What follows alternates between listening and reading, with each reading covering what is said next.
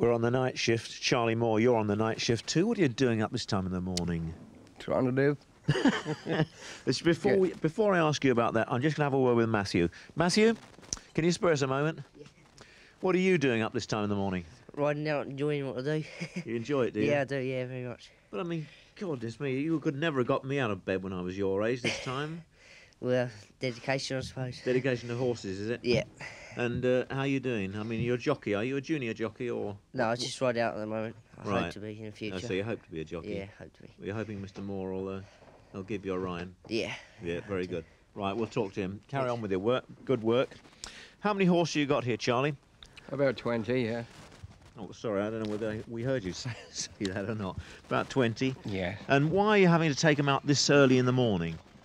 Well, this is the worst time of the year for us as a matter of, you know, like the, the short uh, days and, you know, if we don't get out early and get away to the races, you can't uh, train the animals, you see. No, you're not taking them all out this morning, are you? Uh, Which, one, uh, which uh, ones are you taking out this morning? Everything will go out, but those that are racing uh, tomorrow Yeah.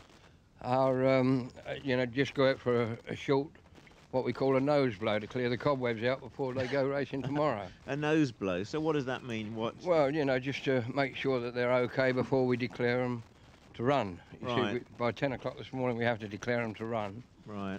Uh, and we want to make sure, and we've got to do it early so that we can check them again before we declare. Right. Absolutely. So who have you got working out here, and who's going to be taking the, the three horses that out for the nose blow? Is well, it that'll be my son Gary, right? also my jockey he is. Uh, there'll be Carl, another jockey, and um, Claire and um, Matthew. And Matthew. Let's go and talk to Claire, And- shall we? And, Where's and she? the rest of the staff will start at half past six, you see. God, dear, oh dear. Who's that cleaning buckets? That's my good wife. Good morning. Good morning. Nice morning. This is. He makes you do the best jobs, does he? Yeah, I get all the best It's jobs. terrible, isn't it? It's Yes. scandalous, Uh, really. Yes, no. do you enjoy it? Yes, I do. You're just Believe it or obsessed by horses, are you? Well, that's right. It's just And that we're- We're, a family and uh, we all help each other. Well, quite right too. Let's go and see if we can find Claire. So what's she doing at the moment? Just saddling up?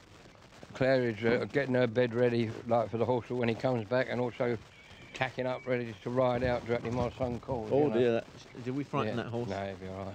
So uh, That's- these horses, do they mind being woken up this time of the morning? No, they're looking out the door ready for their feed. Right, what time would they get up in the morning if Well, the uh, alarm clock hadn't gone off? Well, they, they, they, they're, they're always up around about five, half past, you know. Are they? Hmm. you know. Do they go to bed early? What time do they go to sleep? Well, we, we usually leave them at six o'clock at night, and then either my son or myself check around at ten o'clock to make sure they're all comfortable and haven't got colic and things like that, you know. Here we are. It's nearly dawn and they're loading up the horses to go. Are you ready, Claire? Yeah. But Claire, these horses are pretty big things, aren't they? And uh, um, they bite people and kick people, don't they? Some of them. Most of them have got pretty nice temperaments. Have they? I mean, I've, I did try and learn horse riding one time, and I mean, I didn't do too badly, but I found that really you just have to kick them too hard, and you have to be really kind of cross with them before they do what you tell them to. Is that right? Is that just a skill you kind of uh, get used to over the years?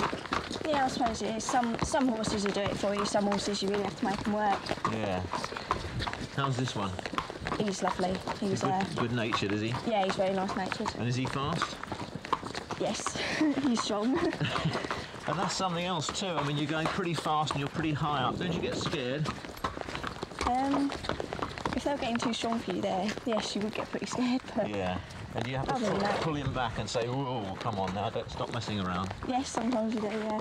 We're going to get him loaded up and put him out at the top here. Yep. Did it suit you in this lifestyle, getting up this early? Oh, definitely. I couldn't do anything else. Did you not? No. Well, your horses are all loaded up, Charlie. Where, That's it, where are you yeah. taking them off to? We're off to uh, up to the gallops now Right. to give them a blowout, ready for the their ne- racing tomorrow And where's Ling- the race tomorrow? at Lingfield Park. Well, best Yeah. of luck to you. Thank Okay, very mate. Nice to talk to you. Yeah, Cheerio. thank. Bye bye.